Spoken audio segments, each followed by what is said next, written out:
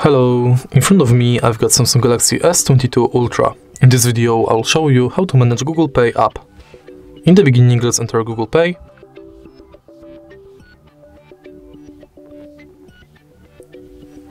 Tap Get Started.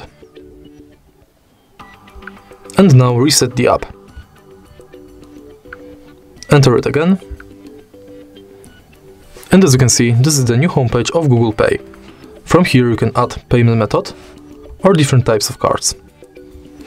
Next, you can manage all of your payment methods, check your full activity, check full list of participating banks,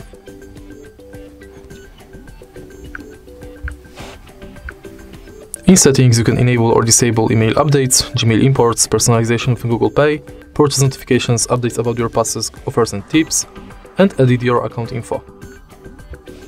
Then, in contactless setup, you can set payment method, set screen lock, check if NFC is on, check if Google Pay is set as your default, and if your phone meets security requirements. Then we've got help and support, send feedback, and access to our Google account.